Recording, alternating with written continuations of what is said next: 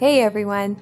Today I am going to share several home decor DIYs using Dollar Tree storage baskets. If you are new to my channel, welcome to Crafting with JC. I share easy home decor DIYs that will cost you only a few dollars to make, but will look like you spent a whole lot more. For the first DIY, I purchased this gold iron basket from Dollar Tree. I love all of their gold iron baskets. It's very vintage yet modern. I'll also be using Dollar Tree's cotton twine, left over from last week's video. If you haven't seen that yet, make sure to check it out and I'll have that link below. I'm going to measure out about 19 to 20 feet of twine. I cut it out and measure out two more of these. So three separate strands total, totaling just about 60 feet.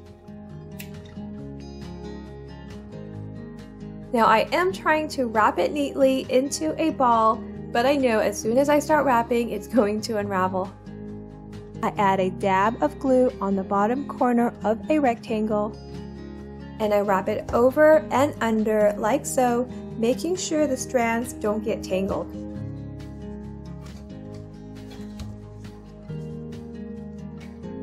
I'm making what looks like an M pattern, wrapping it over twice with six strands of twine on each of those rectangles.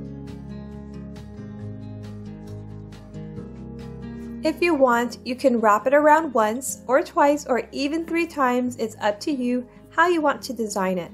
So I just continue wrapping it around, making sure it's tight and that the twine strands aren't tangled. The corner edges are a bit wider, so I wrap the twine three times instead of two.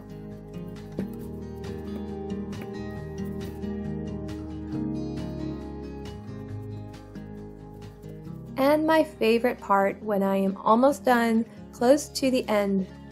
So I just connect the twine to where I first started using a little dab of hot glue. Such a charming little basket. I love the combo of the gold and the cotton. You can display this anywhere on a shelf, on your counter. It's not only functional, but decorative as well. For the second DIY, I'm going to be using another gold basket, and this DIY is going to be quick and easy, but will give it a dramatic transformation. You'll also need four paint sticks, which I purchased at my local Home Depot. I measured the length of the base of the basket and mark it, and mine came out to just a tad under 6 and 7 eighths of an inch. So with a miter box and saw, I cut it to the size I need. I lay them down with the ruler marks facing up and I'm going to glue them together using hot glue and three small popsicle sticks, which are a little too long, so I just trim off the curved ends.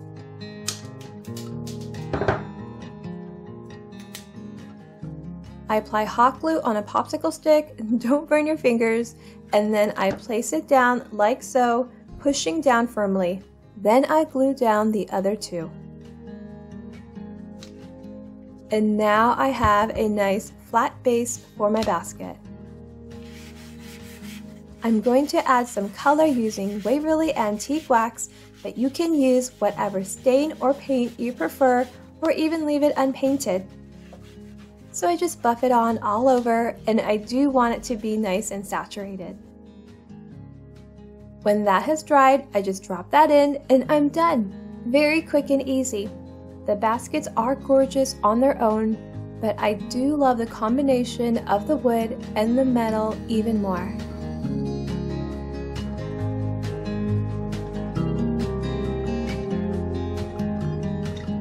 DIY number three is going to be another quick one using this black plastic woven looking basket from Dollar Tree. I'll also be using this jute cord that I got from Walmart which cost under $4 at my local store. I'm going to be wrapping the handles of the basket so I measure out about 5 feet of cord for each handle.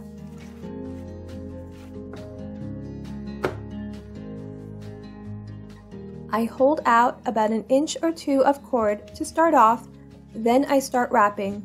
And I'm not going to be using hot glue to secure it, and you'll see how I keep it in place in the end. So here on one hand, I'm holding the end of the unglued cord and on the other end, I'm wrapping it around the handle and why I didn't use tape to free up the other hand, I don't know, but I keep going. I make sure it's nice and tight and when I get to the end, I cut off the excess, leaving about an inch in the end. Then I get a popsicle stick, you can also use a skewer, and I use that to tuck the end inside just like so, pushing it in as far as I can, making sure it's not sticking out.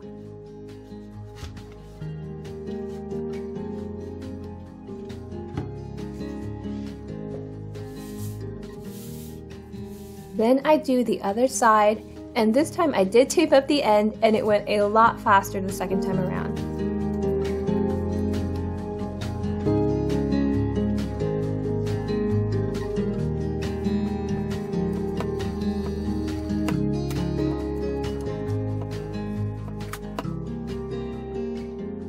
And when I get to the end, I do the same thing. I tuck it in, and this holds very well. It's very secure, very neat and clean, and gives me the option to remove the cord if I don't want it anymore.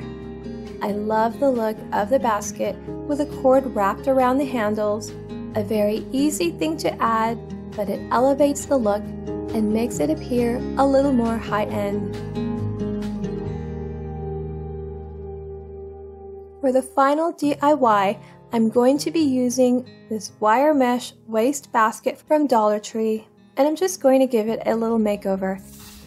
I'm also going to be using sisal rope, which I purchased at Walmart.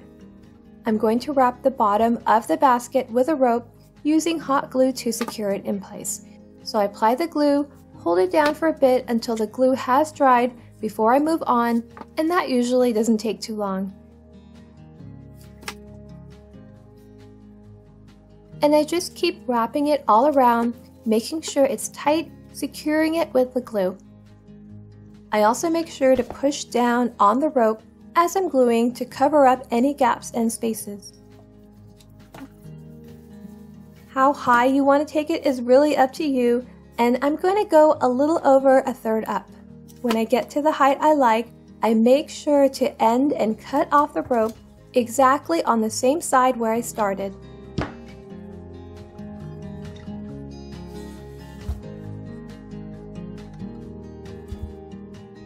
Now this rope has a lot of fibers sticking out, so I just cut some of that off.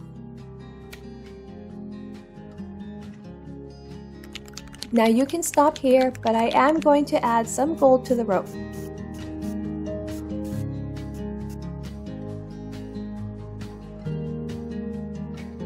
A pretty basket you can put in any room, and you don't just have to use it as a wastebasket, you can use it as a decorative storage as well. If you made it to the end and you enjoyed this video, please make sure to give it a thumbs up. And if you haven't already, make sure to subscribe and click that notification bell so that you don't miss any of my new videos. Thank you for watching. Until next time, bye!